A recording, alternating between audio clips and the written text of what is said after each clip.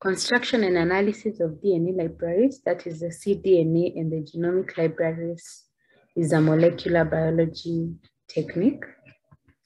And a DNA library essentially is a collection of DNA fragments, a collection of DNA fragments that have been cloned into vectors so that the researchers can identify and isolate the DNA fragments that interest them for any further study. So it is a collection of all DNA fragments of various organisms that have already been cloned into vectors using recombinant DNA technology.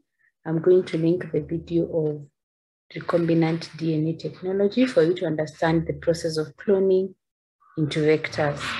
And basically, we are saying that we have two forms of libraries. That is the cDNA, also called complementary. C stands for complementary DNA library, which is made with cloned reverse transcribed mRNA. So mRNA is your starting molecule so that you create a complementary DNA strand and then you make the library.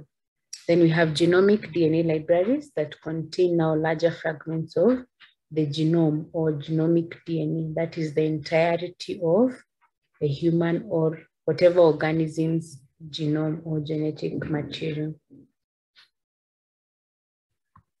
So we start off with what we call a complementary or cDNA library. And like we have said, a cDNA library is a combination of cloned cDNA fragments constituting some portion of a transcriptome. Transcriptome is an mRNA. If you remember the central dogma of biology, we have what we call the DNA molecule, our genetic material, that is converted to an mRNA molecule through transcription process. Then the mRNA is translated into proteins, which are the functional units in our bodies. Now, usually from an mRNA, we can be able to go back to a DNA molecule using what you call reverse transcription, the opposite of transcription. So this reverse transcription process is the one that now helps us to form cDNA fragments from the transcriptome. This is the transcriptome, the result of transcription. So it helps us uh, get the cloned cDNA fragments constituting some portion of the transcriptome of an organism, which are inserted into a number of host cells through recombinant DNA technology. Bacteria or bacteriophage containing cDNA copies of an mRNA population constitute a cDNA library. So now, this is now, if you use plasmids as your vectors, then the host is going to be uh, bacteria. And that is now going to give us an mRNA population, which is in form of a cDNA library. A good library should be large enough, of course, to contain a representative of all the sequences of interest. And the cDNA inserts should be full length copies of the original mRNA to ensure we have the exact function of those mRNA fragments. So it should be large to represent at least most of the sequences within an organism, and again, also full length so that they have all the functionality. Sequences at both 5' and 3' ends of mRNAs contain valuable information needed for full understanding of gene expression and processing. We usually have the 5' capping and we have the 3' poly A tail, and these ones are very important. So the flanking region at the 5' prime end and the flanking region of the 3' prime are very important. That's why we are saying we need to have full length. And this is going to ensure that uh, if, for example, issues of regulation of gene expression are understood, if you do not include such sequences, then there will be challenges in the study of gene expression. In higher eukaryotes, that is like human beings and other animals, uh, gene expression is tissue specific. So only certain cell types show moderate to high expression of a single gene or group of genes. For example, we are saying that the genes encoding globin proteins is only expressed in the erythrocyte precursor cells that are called reticulocytes. So globin proteins are going to be making for us the hemoglobin. So they are only expressed in reticulocytes, which are erythrocyte precursor cells. Using this information, a target gene can be cloned by isolating the mRNA from that specific tissue.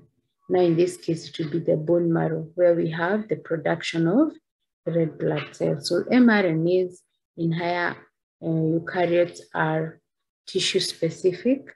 So we are able to now get mRNAs that we know perform a certain function.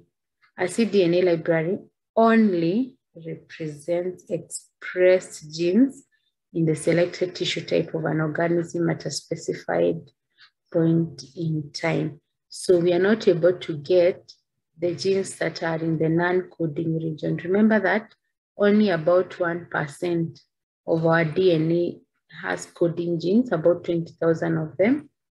The rest, 99% is the what we call junk DNA or the non-coding DNA. So cDNA libraries only represent these 1%. They are, they are about 20,000 genes that are expressed in an organism. The specific cDNA sequences are cloned into vectors. You need to identify vectors, plasmids, bacteriophages, cosmid, um, the yeast, uh, artificial chromosomes, etc. In eukaryotic cells, the mRNA is spliced before translation. Splicing means removal of introns. Usually, if this is your mRNA sequence, usually we'll have what we call exons and introns, then an exon and an intron. So introns are intruding sequences and they are non-coding. So splicing means the removal of intron regions which are not coding for protein. So there we are told that in eukaryotic cells, so in the eukaryotic cells, the mRNA is spliced before you can translate into proteins. Therefore, the cDNA synthesized from the spliced mRNA does not contain introns and any other non-coding regions of the gene. Now, as a result of that, the protein sequence and expression can be obtained from the cDNA, which is the main advantage of cDNA cloning over the genomic DNA. So you can see that because we are able to have this sequence that is expressed only, then that helps us to understand gene expression while using the cDNA libraries. And these libraries also generally contain much smaller fragments than the genomic DNA libraries and they usually are cloned into plasmid vectors. Again, look at the video on vectors. Plasmid vectors are the smallest among the other vectors, and that is because cDNA libraries usually will have very small fragments, so we can be able to clone them in plasmid vectors. As we shall see, genomic DNA libraries, we are going to use larger vectors like yeast artificial chromosomes.